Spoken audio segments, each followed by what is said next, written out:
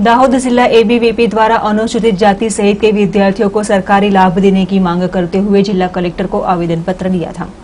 दाहोद जिला के एबीवीपी यानी कि अखिल भारतीय विद्यार्थी परिषद द्वारा दाहोद जिला कलेक्टर को आवेदन पत्र दिया गया, जिसमें राज्य की तमाम कॉलेज, यूनिवर्सिटी के अनुसूचित जाति, अनुसूचित जनजाति सहित सामाजिक और शैक्षणिक रूप से पिछड़े वर्ग के विद्यार्थियों को शिष्यवृत्ति यानी कि स्कॉलरशिप और सरकारी टैबलेट देने की मांग करते हुए आवेदन पत्र दिया गया।